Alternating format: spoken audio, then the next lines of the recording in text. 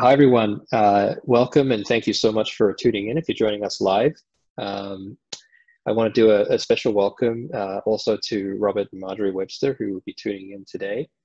Um, I'm Jonathan Wong, and uh, I'm the current president of the AUOA, uh, which is the Otago alumni uh, organization based in the United States here. Um, a quick plug for our, our, our group here. Uh, you know, we are a nonprofit-based alumni organization that's dedicated to supporting uh, each other, that is Otago alumni, and also providing a, uh, a vehicle for uh, US-based alumni to contribute financially to the University of Otago. Um, I want to want to provide a huge thank you to both Miguel and James today for uh, for their time and insights. Uh, I'm very very excited for this webinar, uh, and also to our moderators Phil and Kath, who are both board members of the AUOA. So with that, let me hand off to Sheila Murray, who is the Director of Development and Alumni Relations for the University of Otago. Thanks, Jono. Hi, everybody. Welcome from a cold um, winter stay in Dunedin, though I must say it is a bit warmer today than it has been. Um, I'd just like to um, thank um, AUOA for um, helping to organise this uh, webinar today, and certainly James and Miguel, who are part of the university staff here. Um, we certainly um, look forward to working more collaboratively with you guys on setting these up and moving these more forward. Um, so I hope it all goes well. And um, thanks to a couple of my team members, Danella and Laura, for helping get this put together today. Thanks, everybody. Have a good time. Hi. Good afternoon, everyone. I'm Phil Graham. I've lived in the US 35 years and worked in the pharmaceutical industry for 30 of those years. Currently, I'm at a small company in the greater Boston area, and you see behind me uh, a view of uh, Boston from the Prudential Center for people who, who know the, the city. I recently joined the board of the AUA after attending an event at the New Zealand Embassy in Washington, D.C. last fall, where I very much enjoyed meeting the Chancellor, Vice Chancellor, founding members of the AUA, AUA, AUOA, as well as a number of other alumni. Through this event and others like it, we're hoping to maintain connection American alumni and with the university. Today we have presentations from two researchers at Otago related to the defining topic of our time, the COVID-19 pandemic. After both presentations are complete, we will have a question and answer session moderated by Dr. Kath Bollard, Professor of Pediatrics, Microbiology, Immunology and Tropical Medicine at Children's National Medical Center in Washington, D.C. You may ask questions at any time via the Q&A function, which you can access by moving the mouse to the bottom of the screen. We expect to finish at 7 p.m. East, Eastern Time, 4 p.m. on the West Coast. In the event we cannot get to all the questions at the end of the hour, we will send them along to the presenters for an email response, which will include, which we will include in a follow-up email, along with a link to the recording of this section, session. Our first speaker is Professor Miguel Quinones Mateo, who holds the Webster Family Chair of Viral Pathogenesis at the Department of Microbiology and Immunology. He has over 25 years of research experience in the virology field and has authored over 100 peer-reviewed publications, nine book chapters, and more than 190 abstracts for scientific meetings. Today, he'll be talking about COVID-19 research in his laboratory at Otago. Thank you, Phil, for the introduction. Let me see if I can do this. Um, sure. And I'm gonna make these.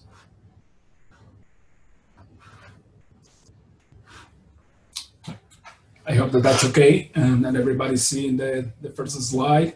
Uh, so first, thank you for the organizer for the invitation and thank you for the University of Otago Alumni Association for you know, attending today. Uh, it's, it's been a, a pleasure.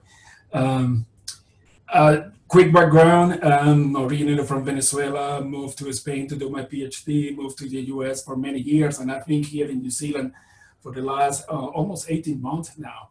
And the plan was to start working with emergent viruses that could be relevant for, for New Zealand. Um, and I couldn't even imagine ever in my wildest dream that I was going to be in the middle of an outbreak and a pandemic like the one that we have right now.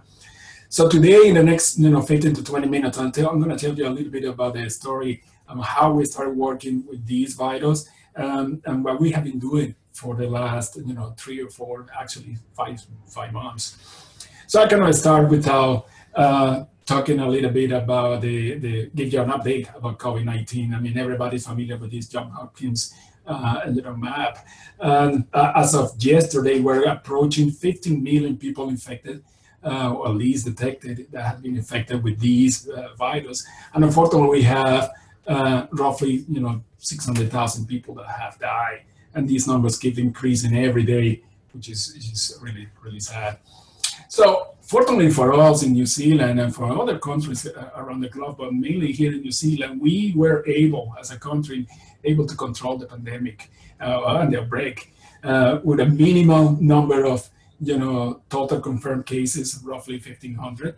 Uh, and know, a really, really limited number of people have died, unfortunately, 22 of them. Uh, uh, that's not the case for many other countries, including the US, as you can see here. Um, uh, Brazil, South Africa, India, you know, even Russia. Uh, this keeps increasing and increasing. So um, uh, we're desperately needed something to, to, to fight back. And I'm talking about vaccines or antivirals. So, but how we started here in, in New Zealand it's, it's, a you know it's kind of a funny story to be honest. I was actually in Fiji um, um, on vacation with my family, with my daughter and a, wife, and then and somebody told me, I think one of them told me, they said, "Have you seen what's going on in China?" Uh, and and I, right away I said, well, this this doesn't look that good. I mean, hopefully they're going to be able to contain it. So we went back to Dunedin, and, and I think it was the same week that we came back the next week that James came to my office and, and with the same question. He said, Miguel, have you seen what was going on in China? Do you think that we should be ready for this? Uh, James, knowing that, that, that I have some background on you know, molecular, um, developing molecular diagnostics uh, kits and assays. So I, I, agree. We, we decided at that point, this is mid-January, that we should be, you know, looking around and, and see what we can do to, to be ready in case that virus escape. Uh, I think at that point, uh, there was even one case in Australia or something like that. So quickly we decided that we didn't want to reinvent the wheel. And let's see what other people were doing out there and, and try to adapt and implement uh, an assay that we could run here in Dunedin and be ready, like I said. So we found this, this group in Germany that online that they were that they had developed these tests, uh, basically a quantitative real-time PCR uh, to diagnose uh, infection with this SARS coronavirus 2, that at the time was called human uh, Wuhan uh, coronavirus. So anyway, we ordered the primers. Of course, we didn't have any positive control, so we needed to order plasmid, to, you know, synthetic genes, and we ordered for the E gene and the, uh, the polymerase of the virus. So this is, you know, the last week of, of January 2020. So we got everything, and we here in my lab, we started, you know, working on the assay, be sure that you know that it worked like that. that the German group said that it was going to work, and this was the the work of uh, one of my, uh, you know, uh, postdocs here in the, in the in my group, Blair, uh, Dr. Blair Lowley. So Blair did an amazing job on putting all these together, testing, you know, checking the sensitivity and specificity and so on of the of the of these assays, and it was working really well. And at that point, then we engaged with uh, James Group in the Dunedin Hospital with Dr. Jenny Grant, and we started you know, implementing the assay in the hospital using the Panther Hologics, which is one of these massive instruments um, that you know you do all these testing basically automatically, get the sample in, do RNA extraction, PCR, and you know spits out the result at the end. So the idea was to you know take these in-house assets, implement it in the hospital, and, and like that. So Blair and Jenny worked really hard for the next, you know, three or four weeks, putting all these together. Uh, we tested, of course, reproducibility of the assay. It was way more sensitive for the E gene than for the RDRP. Uh, and I'm sorry, I think that that's my phone that is ringing, and I'm gonna unplug it. Uh, this is live TV. Uh, so the reproducibility was really, really good. Um, we tested, of course, that you know what we were the data that we got in a hospital was similar to the one that we were getting here in house, uh, and it was working really, really well. Um, so at that point, uh, everything was set up. Uh, they went live in the hospital uh, that day, March March the 13th, and James uh, and Jenny were able to detect the first case in Dunedin actually of, of you know, SARS coronavirus 2 infected person. And I think, if I remember correctly, it was the eighth person in New Zealand. The other ones had been detected in Auckland. so we were, as you can imagine, you know, a, a mixture of worry, but uh, of course excited about, you know, that, that we were ready. I mean, that, that, conversation that started six weeks before uh, paid off. Um, so Jenny and James continue working on these. We sent, or they sent samples to other, you know, institutions across the country just to be sure that our assay that we put together was working like it's supposed to. 100% concordance, everything went, went fine. Uh, so since that day, uh, they have been running that test in the hospital and, and have been monitoring these, these uh, outbreak, this pandemic in the South Island using that test, which is really cool. Uh, so I'm going to tell you uh, what, what, we did or the, the, the, kind of you know, numbers that we got for the first month after the, the, the assay went live. As of you know, the 10th of April, we had at that point a little bit more than 1,000 cases in, in, in, New Zealand, and roughly 200 of them were in the southern districts, including, of course, Dunedin uh, and Queenstown. All, all, of them, if I remember correctly, most of them, if not all of them, were you know detected using our test. Um, and regarding the, the demographics of people that we were tested, um, roughly, you know, 400 or 4,700 uh, people have been tested by, by the 10th of April. Um, you know, kind of half and half between male and female. Uh, and then the age group basically reflects, you know, the demographics of, the you know, definitely the Southern Island. Uh, 190 of those uh, 4,700 were positive for COVID-19. Uh, again, roughly, you know, 52 to 47 percent uh, female to male.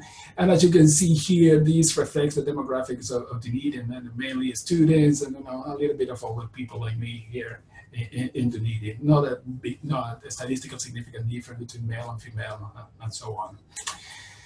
So because of the Hologic, the Panther Hologic was able to do SARS and other respiratory viruses. and Jenny and James were testing for other viruses as well. And none, at least at that point, as of the 10th of April, none of the viruses that were, of the samples that were positive for SARS coronavirus were uh, positive for any of the respiratory virus in, in that instrument.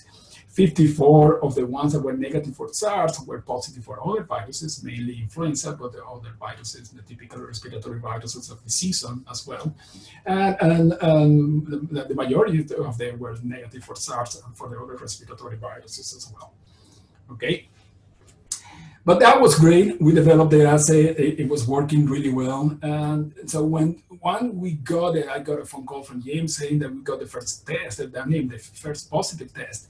I said, okay, we need to sequence. We need to sequence that right away. I mean, we just need to verify that, that what we're seeing is, is what we're supposed to be seeing.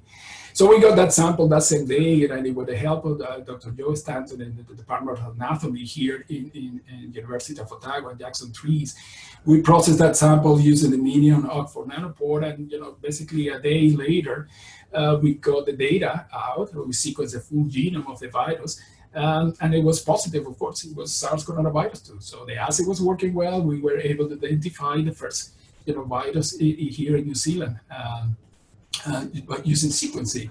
We got, I think it was the same day or the next day, the second case. Uh, so I decided to, you know, verify that using the MiSeq and with the help again in the Department of Biochemistry and Blair in my group, we sequenced that in using the MiSeq Illumina as no surprise, you know, positive as, uh, as well for SARS coronavirus 2, the full genome as well. And of course, when we do the phylogenetic tree, it was, you know, verified it was, of course, SARS coronavirus 2 and not, and not anything else. So at that point, uh, we were really excited. Um, everything was working. Uh, but of course, we the, the country started you know, going into lockdown, uh, level one, two, three, and four eventually. So by the end of March, we went into New Zealand went into level four lockdown. So everybody went home, as you may remember.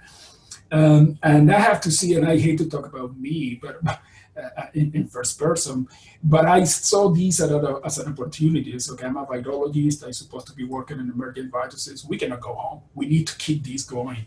So I started talking with you know everybody here in the university, and at, at the time that everybody closed, I mean, all, any other university in the country closed and all the research went to stop uh, with the support of everybody from the VC, from Harleen, uh, from PVC, from Paul Brownton, and you know the Dean Brian, and then our HOD, Greg Cook. Uh, everybody was supportive, and I said, "Yeah, Miguel, you need to keep going, and we need to keep working with these virus." So we went to talk about all the you know guidelines regulations and everything and we kept at my lab and two postdocs uh, Blair and, and, and Roddy. I'll, I'll, mention more about Roddy in a second. And since we have a PC3 lab, uh, you know, physical containment 3 laboratory, I decided, okay, we need the next step is PCR sequencing. Now we need to isolate the virus. Everybody was doing it, uh, so we, we had to do it as well. Uh, so at that point, we took um, um, a bunch of different samples from, from James in, in the hospital, mainly uh, nasopharyngeal swabs. And we took those and infected or exposed the viral cells to these samples, and we got seven viruses. And as you can imagine, that first week or, or 10 days of doing this, we were all really excited, waiting to see if this was going to happen. And we got some CPE, cytopathic effect, effect. It's okay. It looks like, I mean, uh, this was a hard work of Roddy, Roddy Harfoot, um, and has plenty of experience uh, working with influenza virus in Memphis and St. Jude, um, you know, Kiwi, that went and did a, did a postdoc with Dr. Uh, Richard Webby and Dr. Robert Webster. And, and so he came back home and, and he joined my lab like uh, I would say like four or five months before everything started. So it was perfect, perfect timing for me and for him and everyone. everyone. So at that point we saw CPE, okay, seems based on the sequencing and the PCR should be SARS coronavirus. Uh, let's go and check that. So we got seven viruses, supposedly isolates, um, and we sequenced them and of course, just like, like, like before, all of them were SARS coronavirus 2. But more importantly, uh, one thing that we needed to compare uh, to verify was that the virus that we were getting from in, in, the PC3 would match the virus that we got from the patient. And we did that, and it's a you know, sequencing the full gene, and it was basically 100% concordance on all of them. So that, that was really good. Uh, we were in the right path, uh, and now we have the virus. What, what, what, what do we do next? Uh, so, I've been talking, you know, for a while now, uh, 12 minutes, uh, 13 minutes, uh, but I haven't introduced the virus. And at, at, at, this point, everybody, I'm sure that you're sick and tired of listening to about coronavirus too. But I'm just going to introduce you here briefly. It's a you know, single uh, positive uh, the, um, RNA virus. the genome is roughly 30,000, you know, nucleotides uh, have a bunch of different structural proteins. Uh, but the most important, I mean, at least for me, and a lot of people will agree, is the spike glycoprotein, which is the one that you know allows the virus to uh, bind to the receptor, to the ACE2, and enter the cell, and is the main target for neutralizing antibodies. Talking about vaccine development, that James is going to tell you a, a little bit in a second.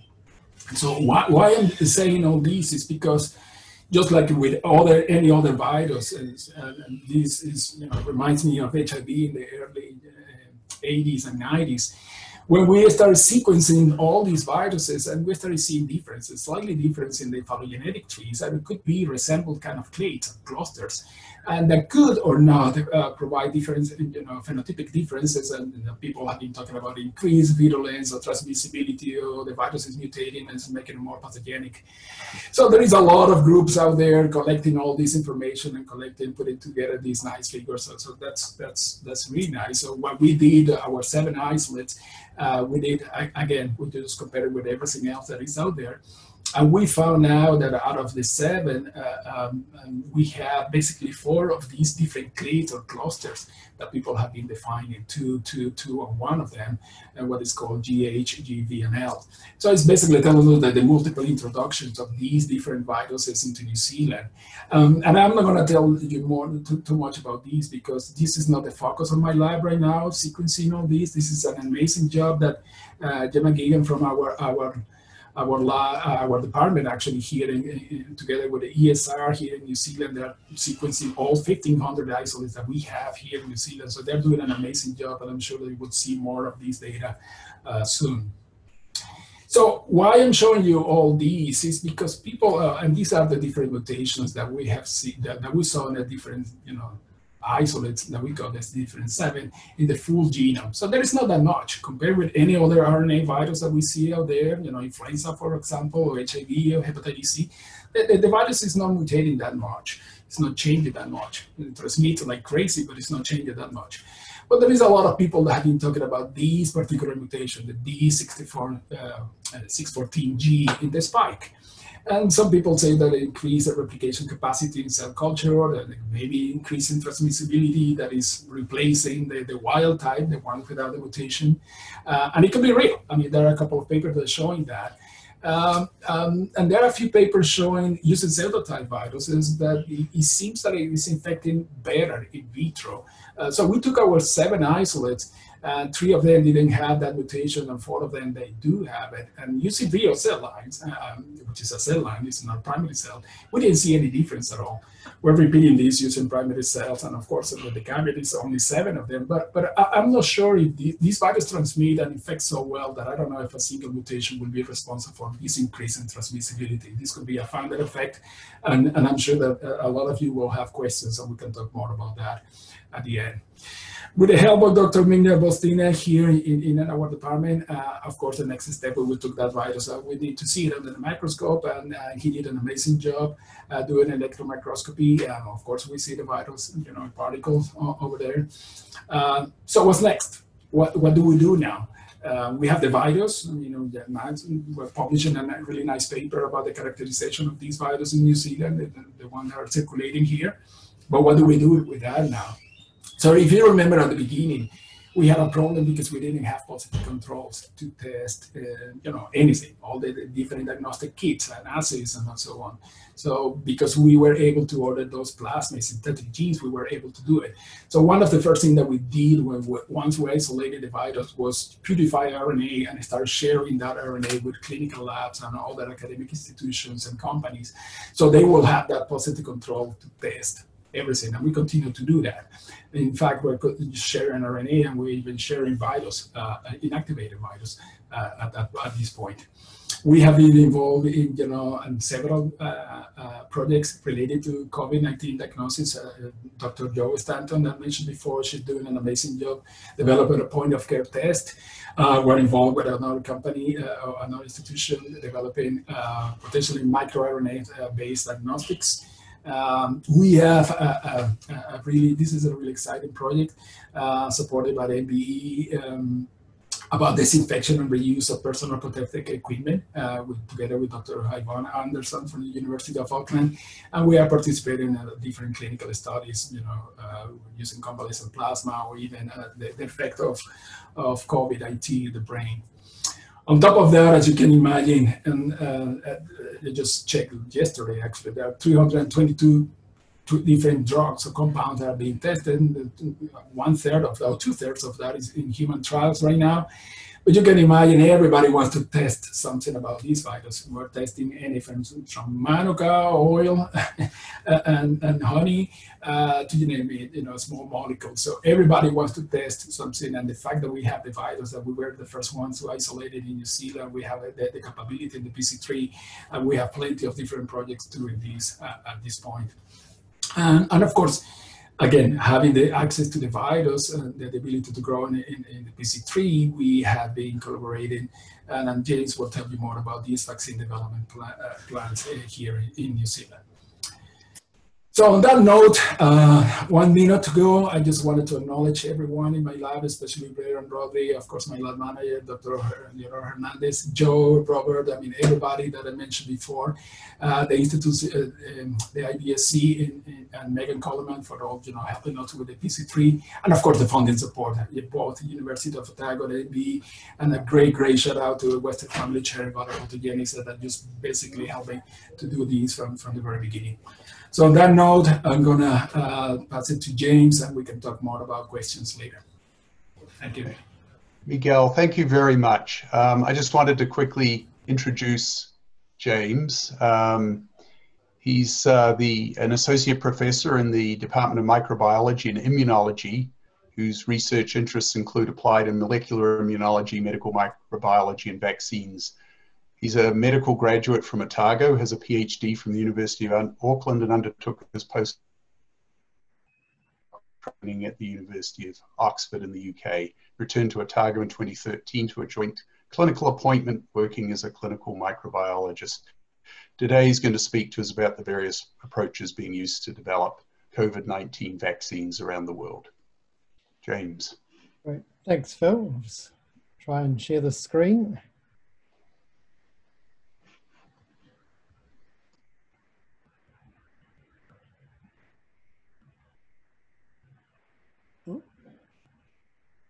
Wait for the uh, spinning circle of death. there we go. So hopefully everyone can see that okay.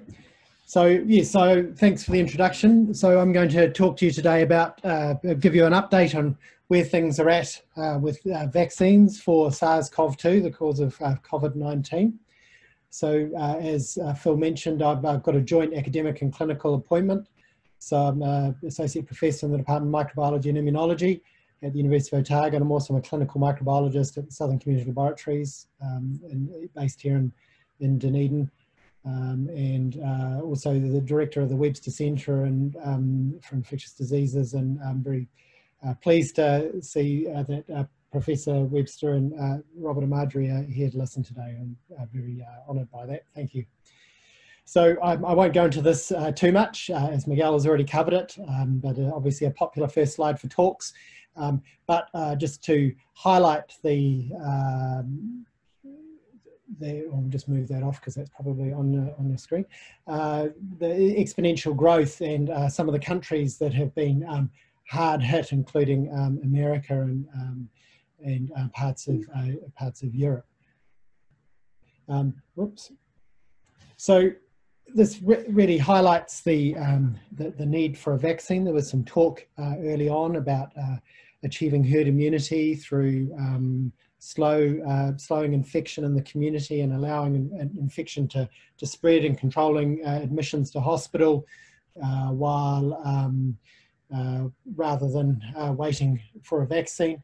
Um, but just to highlight that that's not looking like a, a very good option based on data to date. So Spain is, there's been a recently published, just come out in the last week or so, uh, seroprevalence survey. Um, this hit the news a little bit earlier, uh, but they looked at the end of April and the start of May at seroprevalence across Spain, uh, took a very uh, rigorous epidemiological approach, looked at over 60,000 participants and uh, found only 5% um, of the population uh, had evidence of antibodies uh, to SARS-CoV-2. This was despite over 200,000 um, confirmed cases and uh, 18, over 18,000 um, deaths, and, and, those confirmed cases are probably an under, undoubtedly an underestimate. Similarly, uh, Sweden, which has uh, uh been taking, been following a, a, herd immunity approach, um, while this hasn't been published yet, um, there is uh, data out there uh, to suggest that at the end of April, where they'd had over 20,000 confirmed cases and almost uh, 3,000 deaths, that only 7.3% of Stockholm um, had antibodies uh, to, uh, to against SARS-CoV-2. And now things have progressed in Sweden. They've got almost 80,000 cases and over 5,500 deaths. Um, so despite a lot of pain um, and a lot of um, morbidity and mortality, uh, still low rates of seropositivity in, in the community. And if we look at the death rates in uh, um, some countries, um, we can see that the, uh, almost uh, approaching one in two thousand, over one in 2,000 people have died in um, some countries in uh, Europe, UK and Spain. USA is approaching that. Sweden is also um, in that realm and in New York, there's a staggering uh, uh death rate uh, with over one in 258 people in New York has uh, died of uh, COVID-19. Whereas, uh, interestingly, the countries near Sweden that have taken a very different approach where they've tried to control um, infection through lockdowns um, have seen much lower death rates. So a key question, um, both from a question of herd immunity uh, whether herd immunity might work if uh, through either natural infection or through vaccination um, is whether um, immune response can protect against reinfection. So there was an informative recent publication uh, that came out in Science uh, where they looked in, uh, in rhesus macaques and non-human primates uh, that had been infected, which they infected with uh, SARS-CoV-2 um, in the laboratory and when they infected them uh, with uh, they then re-challenged them uh, with SARS-CoV-2 after 35, um, 35 days after infection. And at the point of um, point at, they could see a rise in neutralizing antibodies. They could see um, uh, T cell immunity as well. So CD4 T cells um, and CD8 killer T cells that are able to kill virally infected cells could all be in, uh, detected um, after um, uh, after the initial challenge. um, so prior to uh, reinfection, and then they re-challenged them day 35 after uh, primary infection. Um, and those uh, monkeys that had been um, had been had had that primary challenge um, uh, while they were still infected uh, with those with the primary challenge we saw for higher viral loads while some of the monkeys were still infected most of them we saw no virus uh, was seen um, in the nasopharynx upon re-challenge um, and uh, that's uh, quantitated here. So a few monkeys were infected, but most were protected against reinfection day 35 post-primary infection. And there was an increase in um, antibody responses, um, including neutralizing antibody responses um, and in, um, in T-cell responses against the virus. So this suggests that at least at this early stage, um, um, 35 days after primary infection, that uh, the non-human primates that uh, were protected against uh, a subsequent infection, although some of them did shed some virus um, at this early stage. And there's no convincing cases reported in the literature yet of uh, people being uh, reinfected with SARS, SARS-CoV-2 either. However, this does remain a concern. So if we look at the human endemic coronaviruses, of which there are four, um, so there's some early trials. Um, this one from, um, uh, published in 1990 where they looked at a challenge uh, model. So they took some healthy volunteers. So these viruses normally cause a, a common cold. Um, and they took 15 volunteers and they inoculated them with the uh, with this uh, HCOV 229E and they were able to infect uh, 10 of them, eight of them became symptomatic um, and they could measure an immune response to them. They then re-challenged them a year later with exactly the same um, virus. Of, of those who hadn't become infected the first time, um, all of them became infected the second time. So uh, they, their protection uh, against the initial challenge hadn't lasted and one became symptomatic. And um, of those who had become infected the first time, um, six of them became reinfected, although um, uh, none of them developed significant symptoms. So it does suggest uh, that there's concerns with the human endemic uh, coronaviruses that um, immunity is short lasting and uh, that uh, people can get reinfected.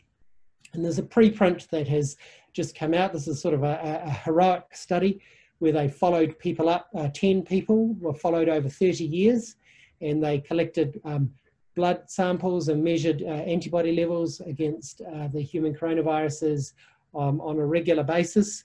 Um, and they defined reinfection by a rise in, um, in antibody titers. Um, and they could show that uh, uh, for all of these viruses that there were frequent rises in antibody titers suggesting um, reinfections. Unfortunately, there's no data on symptomatology, but uh, suggesting that on average, uh, or the, the, median time between infections uh, with, a, with a human endemic coronavirus is only about 30 months. So that uh, immunity is short, short-lived to these uh, coronaviruses at least. So what do we know about SARS-CoV-2? So there's emerging data uh, that uh, shows that antibody levels uh, decline, and this is being uh, replicated in now multiple studies. So this is a paper that was published in Nature Medicine out of China.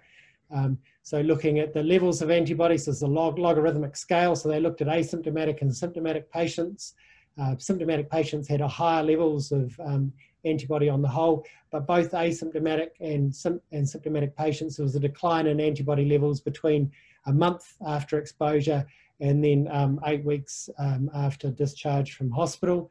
Um, and similarly, another study that's just hit the media in the last uh, week uh, out of the UK, uh, where they serially followed people um, and uh, they showed that whether those who had very severe symptoms, so these are the, in red are the people who ended up on invasive ventilation or on, um, or, on bypass um, or had severe respiratory failure, um, and black are people who uh, had less severe uh, disease, and all pay, while there were higher antibody levels in those who had severe disease, um, and all there was a decline in antibody levels uh, with time. So this is not unexpected. This has been seen um, after uh, uh, after other beta coronavirus infections. So the original uh, SARS virus, which emerged in, emerged in 2002, 2003, and caused a, a limited um, outbreak across a number of countries. Um, uh, there was also a decline in antibody levels seen. So this is looking uh, out to 36 months after um, onset of uh, disease um, and whether you're looking at um, total antibody levels or looking at neutralizing antibody levels, there's a drop in antibody levels and there's a drop in the percentage of people who are positive uh, for, uh, for antibodies. So uh, it's been seen with similar uh, viruses before. Interestingly, uh, T cell responses uh, seem to be more persistent. So this is a paper that has just come out and um, in, from, from a paper that's just come out in, in Nature.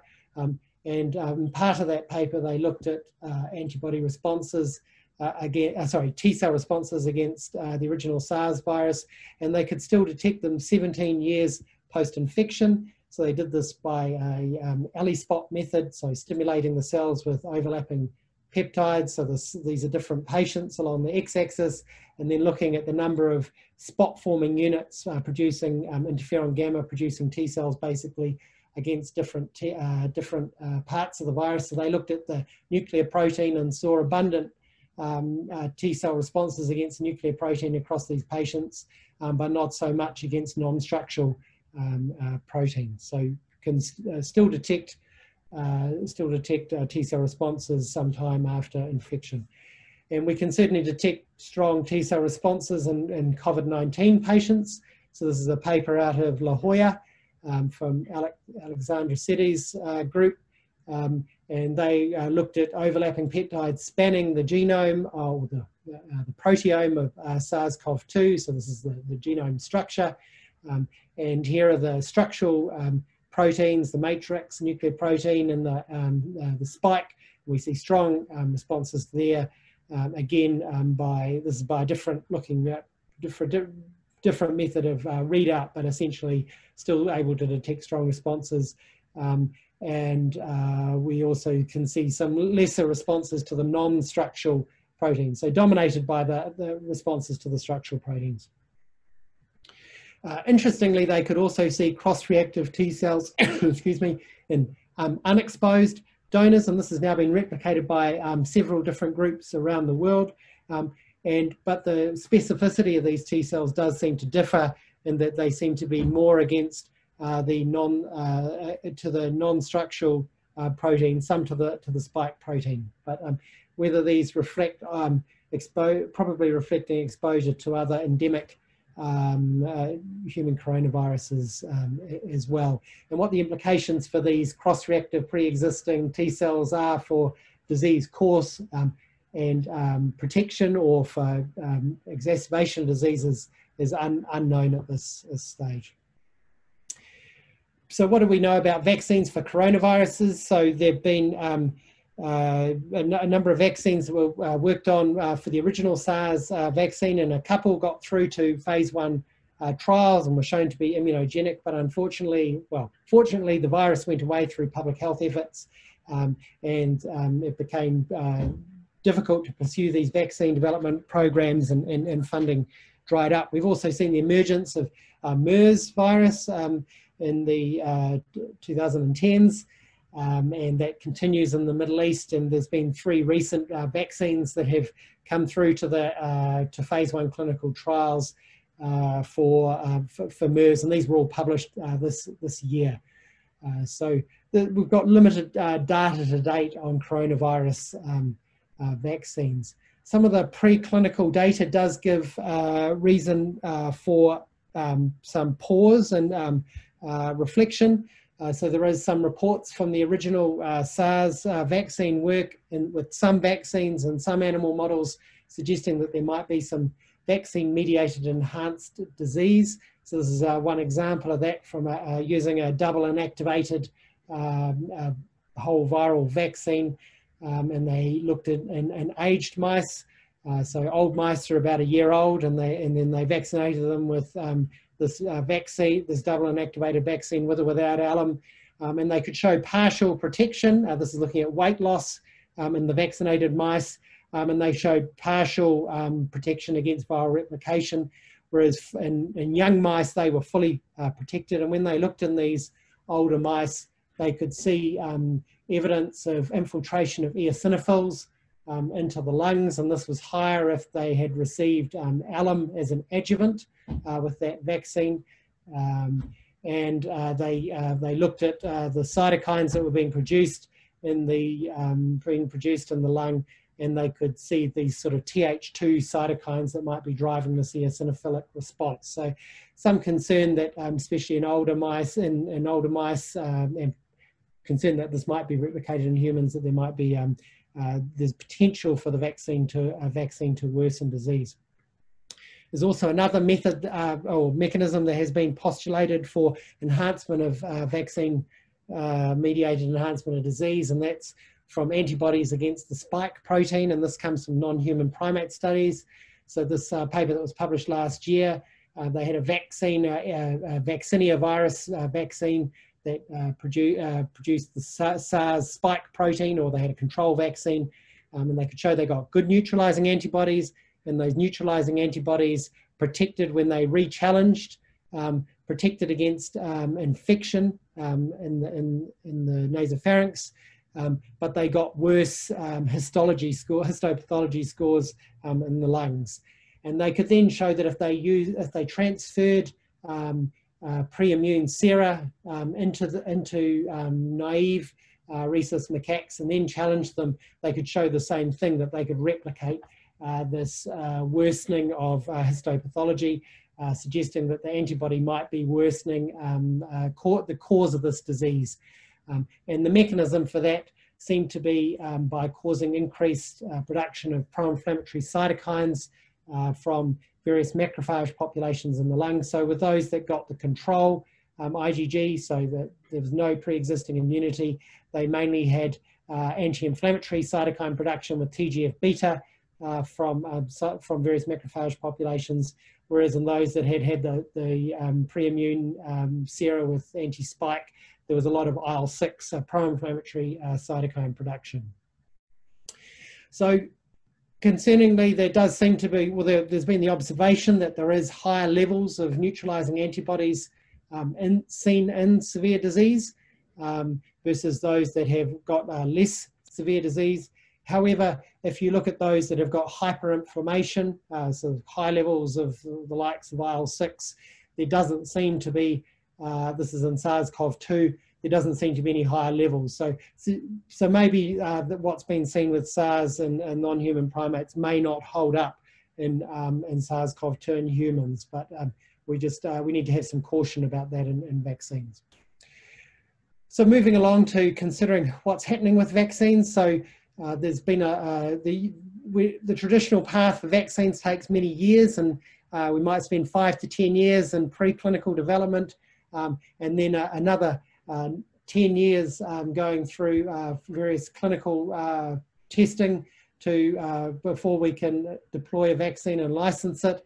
And obviously a 15 year time frame at the moment is, is really not going to be acceptable given the, the current global situation. So given experience that's um, from Ebola vaccine development, um, this timeline has been um, compressed with a lot of this preclinical testing um, occurring simultaneously along with uh, phase one testing. So this is safety uh, testing and, and small populations and um, some immunogenicity testing, and then looking at trying to conduct these larger studies uh, simultaneously, um, and also pack, um, starting the manufacturing process during the clinical testing um, uh, process as well. So there are a lot of vaccines currently in development.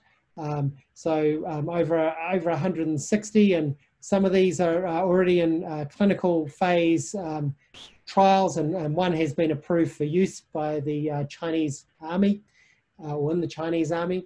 Uh, so these are a mix of traditional and novel methods. So we've got traditional methods such as inactivated uh, viral vaccines, um, which um, have been, for example, influenza vaccines are example of uh, that or he hepatitis A.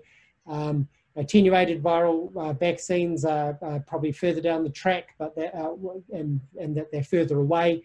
Um, but they're examples of those that are currently in development. Uh, they're currently in use, of like the measles, mumps, and rubella, and then the protein subunit vaccines and virus-like particles, uh, which we commonly use at the moment, such as the hepatitis B and HPV vaccines, um, are also in development a lot of the early leaders of these um, novel vaccines, such as the viral vectored vaccines, Um, and uh, the only one of these that's currently uh, reached the clinic is uh, um, an Ebola vaccine that was uh, recently approved. And then RNA vaccines and DNA vaccines that are uh, also uh, where we're delivering a gene. So all of these are genetic vaccines that are delivering a gene from SARS-CoV-2 um, to try and get that gene expressed and an, an immune response against that. Um, but uh, none of these RNA or DNA vaccines have uh, yet to uh, reach a licensed product. So uh, from an inactivated viral perspective, that one of the leading there's a couple of leading candidates from China, um, and uh, Sinovac are, are, leading the charge here. So they published their preclinical data in um, uh, science uh, recently, and they showed that it induced good neutralizing antibody responses uh, that were at uh, a higher level than those seen in uh, recovered uh, patients. Um, and if with higher doses, they could effectively suppress or largely suppress viral RNA um, in the in the throat, um, and could thoroughly and could completely suppress it um, in the lungs. And importantly, even though they gave it with alum, uh, no immunopathology uh, was seen. And they're progressing to phase one. They've completed apparently their phase one, two trials, although they haven't been published yet. Um, apparently they had good um, uh, responses and they're currently planning a phase three trial um, in Brazil. The um, other, uh, what the leading, probably the leading candidate at the moment is the University of Oxford and AstraZeneca's um, viral vector. So this is a chimpanzee adenoviral vector that is expressing the SARS-CoV-2 spike uh, protein. It carries the gene for that. Um, and in the monkeys, they showed that it was able to um, uh, prevent pneumonia in those monkeys. So they, it suppressed uh, viral replication um, and uh, in, in, the lungs and the BAL um, of fluid of those uh, monkeys and protected them um, against disease. So here the mock uh, monkey immunized monkeys when they were challenged they developed um, uh, pneumonia whereas that wasn't seen in the in the in the vaccinated monkeys. But unfortunately um, they didn't manage to suppress uh, replication in the in the nose. So this vaccine um, suggested that at least on the, with a single dose might be able to prevent uh, prevent disease but maybe not uh, prevent transmission um, although they did have a subsequent pa uh, paper where they showed, at least in um, mice, that you could boost with a homologous, with a, a, a, second dose at day 28, and you got higher levels of um, antibodies. So it might be that a second dose might be able to further boost those levels. Then hot off the press, uh, many of you will have seen that um, just published in the Lancet today, uh, the uh, phase one, two trial results have come out for this vaccine. So they looked at over a thousand healthy volunteers who got a single dose, apart from 10 volunteers who got a second dose at day 28, and compared to um, meningococcal conjugate vaccine. Um, and they showed that they got neutralizing antibodies um, in all of those, uh, or almost all of the patients, or the volunteers who received a single dose, um, and that those levels were lower than convalescent um, plasma samples, but in the 10 who got a, a booster dose, they got um, comparable levels uh, to convalescent plasma samples. And they also showed good T cell responses as well. Um, they're progressing, they've already progressed to phase two, three trials in the UK and phase three trials are also underway in Brazil and South Africa. So this is progressing at a rate. Um, the other leading candidate I want to talk about, uh, which there's been a lot of talk about is Moderna. So Moderna has uh, got a, a, a, RNA vaccine. So this is uh, mRNA 1273. It's a, a lipid nanoparticle. Um, and it uh, basically encodes a pre-fusion stabilized spike protein. And their preclinical data, they showed good neutralizing antibody induction, um, varied by the mouse uh, strain that you gave it to, um, and that it was able to um, protect against disease in a dose-dependent manner. Uh, so uh, lower doses were sub um, uh, partially protective, whereas higher doses completely protected against challenge. Um, and importantly, they saw no enhanced lung disease with those um, subprotective doses. And they've also just published um, phase one trial data, that was in the New England Journal uh, last week, um, and they showed that with two vaccinations, 28 days apart, that they got excellent levels of neutralizing antibodies um, that were sort of similar to convalescent um, uh, serum. Uh, unfortunately, their highest dose, the 250 micrograms, was too too reactogenic, so that uh, won't be in, in subsequent trials. um, and their phase two trials are already underway, um, and they've got a phase three trial plan for July. So that's one of the major challenges is uh, that part of the way there is developing a, a safer and a, effective vaccine. We're yet to see whether they'll be effective, but data to date is promising. Um, we then have to manufacture it um, and we have to scale up. Um, and this is perhaps uh, as equally a large challenge as developing a, um, a, a vaccine. So currently the, in the global market, there's, uh, uh, if we exclude seasonal influenza vaccines, there's three and a half billion doses of vaccines uh, made globally uh, per year. That's the, the current global capacity. And if we include seasonal influenza capacity, that's another one and a half billion doses. And there's pandemic surge capacity of 6.4 billion doses. Unfortunately, the influenza vaccine uses quite a different um, manufacturing process to many of these other vaccines. Um, and we're seeing that there's already um, uh, upscaling of manufacturing capacity uh, of uh, many of these leading candidates, uh, but we don't know which of these are going to be successful and when they're going to come online. But um, delivering these is going to be a, a major um, issue. Uh, there is a global push to try and uh, ensure equitable access um, to uh, SARS-CoV-2 vaccines as the, this didn't occur very well with the previous swine flu pandemic, H1N1, back in 2009, 2010. Um, however, there are concerns about whether this will, uh, how effective this will be. We've already seen efforts from um, uh, to try and purchase uh, leading vaccine producers to try and um, uh, secure supply uh, for particular countries. Um, and as reviewed in an excellent New York Times article recently suggesting that uh, the Serum Institute of India, which is one of the world's largest producers of vaccine doses, said that they would see most of the vaccine would have to go to their countrymen before it goes abroad. Um, and just probably the reality is it's going to be very hard for a government to allow vaccine produced in their country to be exported while there's a major problem um, at home. And we've seen in other spheres as well um, that uh, um, that uh, equitable just there are going to be challenges to equitable distribution uh, globally.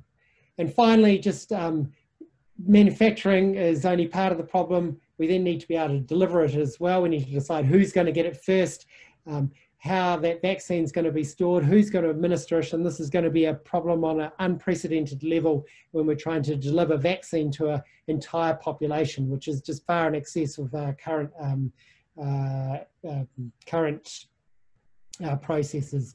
And there could be some additional challenges as well, particular um, candidates. For example, currently the Moderna mRNA vaccine needs to be stored at very low level uh, temperatures um, and has to be used uh, very quickly um, after thawing, uh, which is also going to provide extra challenges to delivery. So um, I'll stop there and um, if anyone's got any questions. Thanks very much, James. So we're now opening uh, this uh, excellent uh, panel discussion up for Q&A and we've had a few um, questions come through the chat. So I'm just going to, first one's actually uh, for Miguel and it was, um, could you talk a bit more about the effects of COVID on the brain that you mentioned briefly on slide 22? this is a really good question. And, and, like somebody said, when, when a scientist says a good question is, is, the same thing that saying, I don't know.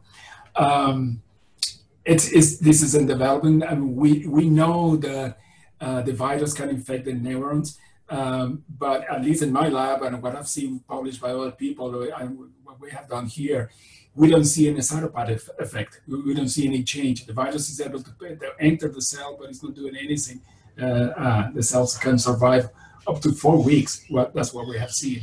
Um, people have been complaining, patients that recovered have been complaining with some symptoms, uh, hallucinations, you know, fogginess, I mean, a, a lot of different symptoms. Uh, so this is an open field right now. Uh, with more and more patients recovering, we're going to be able to, you know, find what's going on with the virus in the brain. Great. So um, the next questions are sort of related to the immune system. So, I, James, you might want to answer some of these, but can you talk a bit more about the relative contribution of the spike protein antibodies um, versus the spike specific T cell responses? And is there any sort of evidence that immunity to one or both or you know is more critical for clinical outcome in the acute and chronic periods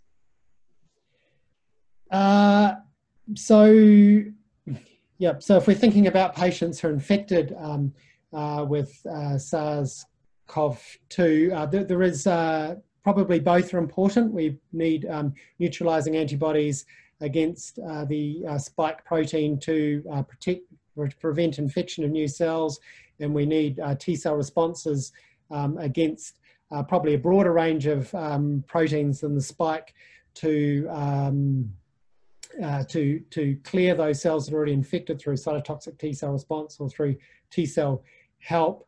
Um, I think it's unclear at the moment how T cells might um, contrib- what the role of uh, T cell and antibody responses might be in contributing to um, uh, more severe disease. Um, that I think there, there's clearly more stronger um, antibody responses in, in patients, um, and the quality of the T cell responses differs in patients who've got more severe disease. But whether that's a result of more severe infection or whether contributing to the pathogenesis is unclear. And that data from that um, paper that's preprint from um, the uh, uh, Imperial um, suggests that uh, that I showed suggested that uh, at least while there are higher levels of neutralizing antibodies in people with the most severe disease, it doesn't seem to be driving the or associated with the hyperinflammation, and that might be more of a um, innate immune uh, response. And sort of in older people, we see more of a pro-inflammatory um, bent, uh, sort of an inflammaging uh, uh, response as well. So I'm not sure if that quite covers the question. Yeah, I mean, I think, you know, the problem is we just don't have enough information yet. Yeah. And so actually that tees up to the next question because I think people are looking for the practical implications of watching a waning humoral response, mm. encouraging data that there might be long term T cell immunity to SARS CoV 1 in those patients that were infected way back. Um, so, what's the implications for that with a vaccine? You know, is this something that the vaccines are predominantly targeting the humoral immune response? Mm. Is it going to have to be something that you have every year, like the flu vaccine? Does it really matter? Is reinfection a more benign disease? Um, do you have any thoughts about that? Yeah, so I think it's uh, unknown at this stage what the uh, durability of the um, antibody response will be with the different vaccines. Um, it may well be that boosters are required. Um, at the moment, it's um, I think from looking at all the data that's out there, I'm not convinced that we're going to see sterilizing immunity um, from uh, any of the vaccine candidates. I think, I mean, all the, the RNA and the viral vector vaccines all seem to give a similar, roughly similar response. They're all sort of uh, taking a, a, roughly similar approach. Um, it may be that we need more antigens, greater breadth of antigen uh, may, such as with the inactivated viral vaccine, may provide better um, uh, longer term protection. I, I, don't think we know at this stage.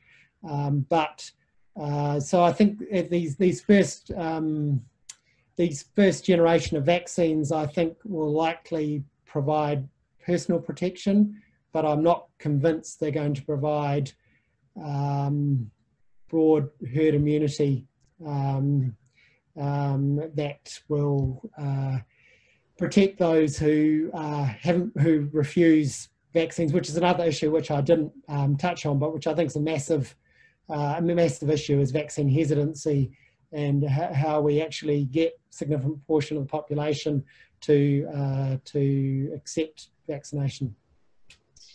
So it's a very good point in New Zealand, I have to say. um, so since you two are some of the leading experts on uh, SARS-CoV-2 in New Zealand, um, you may be asked this question by your government. So if a vaccine does become available in the US before New Zealand, would you be comfortable advising your government to let us vaccinated US people into COVID-free New Zealand? Um, I, I can tackle that with a two second answer. Um, I wouldn't discontinue what we're doing right now. Everybody coming to the border should be checked. If you are active, you're positive, you have to go to quarantine and until proof that this vaccine is working. Uh, it's too soon. We're doing so well right now here, and the rest of the world is not doing that well that we cannot risk it. Uh, we live in our bubble and we're doing great. Uh, I, I, wouldn't recommend that, to be honest. Until yeah, well, that's because that you're living working. in the bubble. exactly, exactly. I, I, um, I probably concur with Miguel. I think until the vaccine's deployed in New Zealand, I'd be reluctant. I personally would be reluctant to relax border restrictions. So, Miguel, maybe um, you can talk a bit about the implications of the mutations of the virus, which I believe are mainly within spike. And are you concerned about that given that the vaccines are predominantly targeting spike? Does this worry you? No, no at all, actually. Uh, and we can talk about this for a long, long time. Uh, I, have made my career of working with virus evolution. This virus is not mutating at all Okay, this is basically it, it, has no reason to mutate. It's transmitting like crazy the way it is. Why is it going to mutate? The, what we're seeing right now on those phylogenetic trees that I show, or the minimum mutations, we're talking about five, six mutations randomly in the genome in a 30,000 nucleotide genome. That's nothing. If you compare it with any other RNA virus without the proofreading ability that these viruses have, that's nothing. So the virus is not mutating, it's not going to become more pathogenic, it's not becoming more virulent. And what we're seeing with this particular mutation, in the spike, is, is just, you know, genetic drift. It's, it's, it's a founder effect. Now, once we start deploying our vaccine and we start deploying drugs, that will be a challenge. We will need to see if the virus has an answer for that. And, and before we do that, believe me, that's what we do in the labs when once be, before the remdesivir, I'm sure that people have been trying to select for drug resistant or remdesivir resistant viruses in vitro, and the same thing will happen with the vaccine. So we'll to we'll need to cross that bridge when, when we get there. But the virus, these virus doesn't mutate like in any other viruses. So there's another question, uh, another practical orientated questions. Um, a, um, a lot of emphasis has been placed on the use of masks in the US. As you know, it's become a politicized issue over here. Uh, so the question is, would you re recommend masks in New Zealand if, God forbid, the virus did enter the community again? Yes. I mean, I think there's emerging, well, I think there's now ample evidence um, that um, masks and social distancing are effective at controlling the community spread of um, of SARS-CoV-2. So I think, I mean, we've seen it now. Melbourne, Victoria is now making masks compulsory. They're compulsory in the UK in certain situations. So um, there's already been uh, uh, been discussion in the community, um, or been discussion uh, previously about whether there should be masks uh, be used in New Zealand. So I'm sure that that will happen if there was community transmission.